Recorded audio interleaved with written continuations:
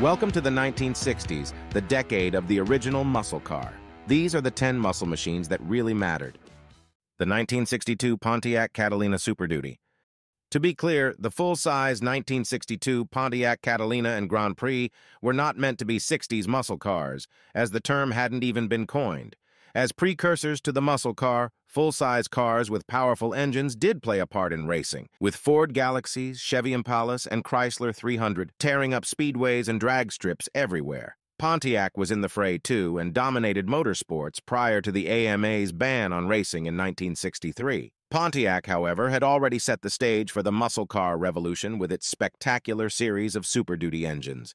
The 421 cubic inch Super Duty Pontiac engine had a 405 horsepower rating, and those built after March of 1962 had larger valves and a freer flowing intake manifold for even more performance. To make the full-size performers even faster, Pontiac put some Catalina and Grand Prix models on a special weight loss program consisting of aluminum body panels and hood.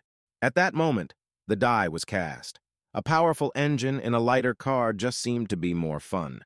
Fewer than 200 Super Duty 421 Pontiacs were built, but they were a harbinger for the muscle car flood to come, a flood that would be led by Pontiac. 1963 Plymouth Savoy Max Wedge.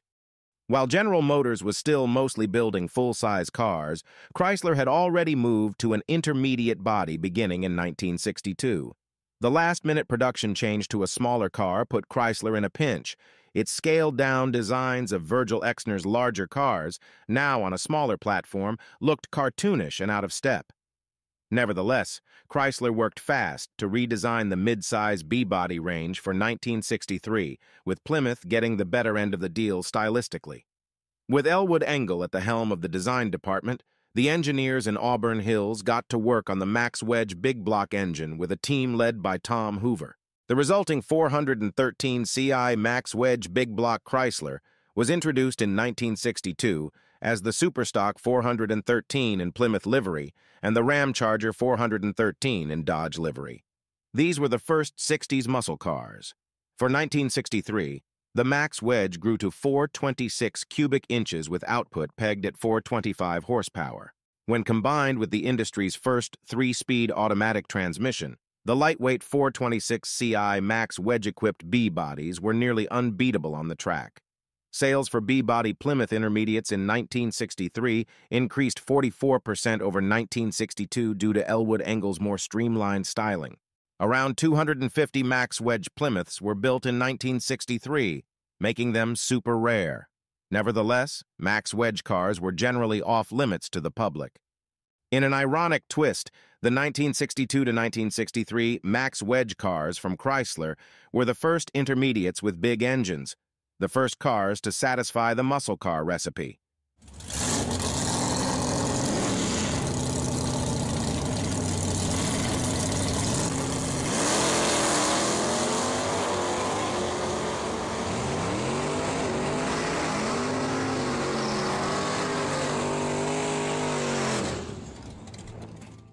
Nineteen sixty-four Ford Fairlane Thunderbolt.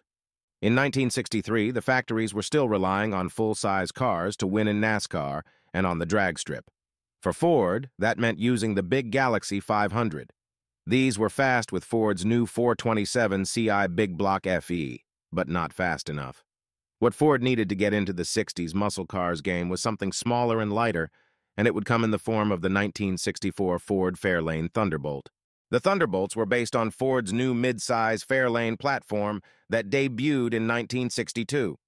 They used Ford's high-output 427 CI FE big block, which churned out 425 horsepower at 6,000 revolutions per minute. Ford produced just 100 Ford Fairlane Thunderbolts in 1964, the only year of its production, with 49 four-speeds and 51 automatics being built.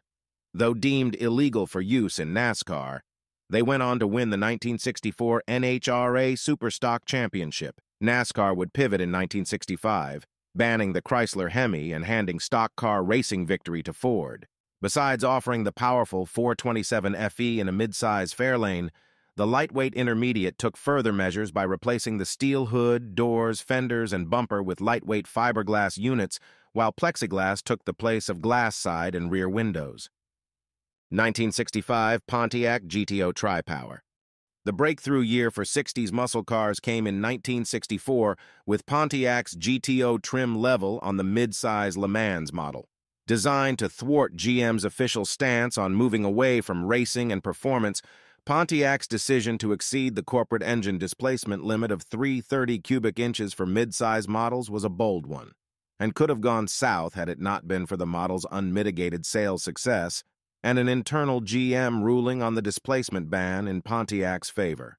While Motor Trend gushed over the 1968 Pontiac GTO, its Endura bumper impressing them enough to make it the magazine's Car of the Year, hot rodders have gravitated more to Pontiac GTO's fabled tri-power carburation setup, which peaked in the 1965 model year, but was out of production by 1967. The year 1965 was one of refinement for the Pontiac GTO, which gained better brakes, heavy-duty shocks, a stronger anti-sway bar, more power for the base version engine to 335 horsepower, and a raise in the 389 CI Tri-Power's horsepower rating to 360 horsepower. Sales of the redesigned 1965 GTO more than doubled to 75,342 units. 1966 Dodge Coronet Street Hemi in 1966, Chrysler decided to get serious about street performance, offering the previously race-only 426 CI Hemi to any off-the-street customer who could write the check. The impetus for homologating the Hemi for the street came from NASCAR, which had banned the race Hemi from competition during the 1965 season after it made a clean sweep in 1964, with Richard Petty driving a Hemi-powered Plymouth. NASCAR made it clear. If you don't make it for the public, you can't race it here. After that, the 425 horsepower Hemi found its way under the hoods of both Dodge and Plymouth intermediates for 1966. To make this happen, the previously race-only Hemi needed some important development work to make it reliable enough for use by anyone in all kinds of weather and at different altitudes. Considering how engine technology advanced by leaps and bounds throughout the decade of the 1960s, it's amazing that the Chrysler Street Hemi formula changed little during the reign of 60s muscle cars. 1968 AMC AMX American Motors jumped into the muscle car game relatively late. While American Motors had framed its lineup as the car for the human race, choosing to focus on family transportation, larger competitors were already moving toward the brewing youth market performance battle. Because American Motors had revolutionized the U.S. auto industry just a few years earlier by spearheading the movement toward smaller cars, it had unwittingly become one of the biggest catalysts for the 60s muscle cars movement, essentially opening a door that AMC refused to walk through. Thus, by 1968, AMC found itself playing catch-up. By way of remedy, AMC came out with designer Dick Teague's game-changing Javelin and the even sexier AMX, one of the best cars to go after both Ford's Mustang and Chevy's Corvette by creating a compact two-seat sports car that was priced closer to the Mustang than the Corvette. The top engine for 1968 was the 315-horsepower 390 CI, which, when combined with a 3,000-pound curb weight, provided vertiginous acceleration at a bargain basement price. What's important about this is that the AMX allowed American Motors to continue pursuing its high-value strategy unabated, the same strategy that had made the Rambler American such a success five years prior, only with the twist that it now included the hip baby boomer set. 1969 Chevy Copo Camaro. You can't discuss 60s muscle cars without including the Camaro, and when it comes to Camaros, nothing beats the 1969 Copo, or Central Office Production Order. Copos were created for various reasons on different car models, usually to build out non-performance vehicles with special equipment, but a few dealerships realized that they could be used to backdoor Chevy's top engine into its lightest car, which they could then sell as a factory-built supercar.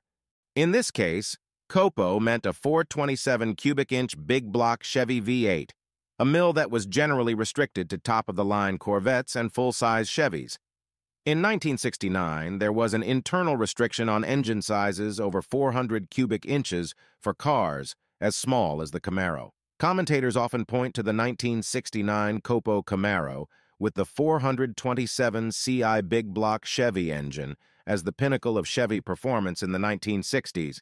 But there were actually two Copo 427 Camaros, the Copo 9561 with the solid lifter L72 iron block 427, 1,015 units are estimated to have been built, and the rarer Copo 9560 with the aluminum ZL1 427 CI big block, of which only 69 were built. Copo Camaros were commonly known to be sold by dealers like Yenko, Fred Gibb, and Berger. Fun factoid. In 1969, one could even get a Camaro with the V75 code liquid tire chain option, a thinly disguised remote-controlled burnout juice dispenser that sprayed a traction aid on the rear tires, of which at least one was added to a Copo Camaro. 1969 Ford Boss 429 Mustang. If we momentarily set aside the argument that pony cars like the Ford Mustang are 60s muscle cars and not pony cars, we need to consider the most potent of the breed, the 1969 Boss 429 Mustang. We say most potent because the 1969 Boss 429 Mustang wasn't supposed to be a high-profile muscle car for the street, but a backdoor ticket to win in NASCAR. Though homologated for NASCAR by means of the Mustang, racers competed with the Ford Hemi in the mid-sized Torino. In fact, the Cobra Jet 428 Mustang was usually a quicker car than the Boss 429, but since the Boss 9 was built for NASCAR and detuned for the street, the 429 only needed the right gearing, exhaust, and tune-up to make rivals disappear in short order. When the Boss 429 Mustang was approved for production in March of 1969, it was destined to be a rarity, with only 859 Boss 429 Mustangs being built in 1969 and 499 examples made in 1970.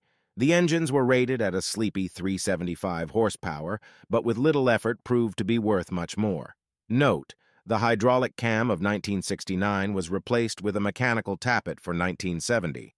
Because the engine bay of the Mustang was too narrow to fit the Boss 429, the cars were sent to Kar Kraft of Brighton, Michigan, for modification before receiving their Hemi engines and special performance equipment. 1969 Dodge Hemi Daytona by the end of the 1960s, perfect conditions existed for Detroit's horsepower battle to reach a screaming crescendo. Kids born after the close of the Second World War had reached maturity. The space race with all its technology in tow was at its zenith. Fuel was still cheap and plentiful, and racing, both straight line and on the superspeedways, was capturing public attention. This is when Dodge hatched an outrageous plan to take over NASCAR by building 503 specially equipped Dodge Chargers to sell to the public, making it one of the most recognized 60s muscle cars.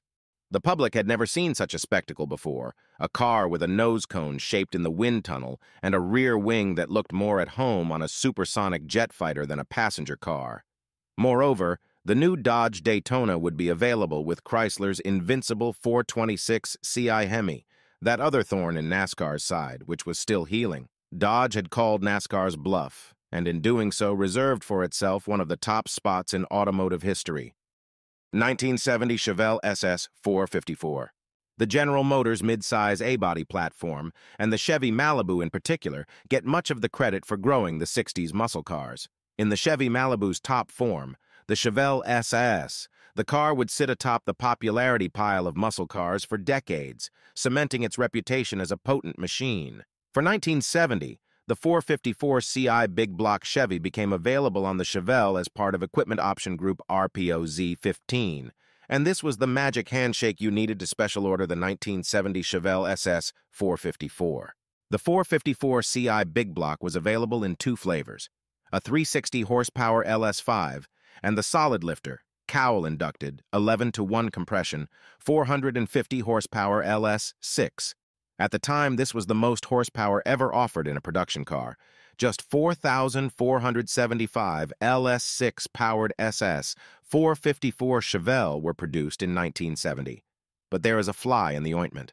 After 1968, the Chevelle Supersport was demoted from being a separate car model to just a trim line of the Malibu, prior to which a specific VIN identifier could be used to positively identify a real supersport model. From 1969 onward, however, the Chevelle SS could only be identified through the sleuthing of dealership paperwork, broadcast sheets, Monroney stickers, and other indirect means. It's therefore difficult to establish the genuine provenance of a 1969 and later Chevelle SES, making such examples even rarer and more expensive than production numbers might otherwise indicate.